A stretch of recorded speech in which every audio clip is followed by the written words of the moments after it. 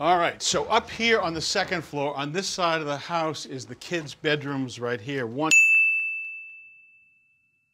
here, one here. And that is generally a separate zone typically. And this is the master suite right here. So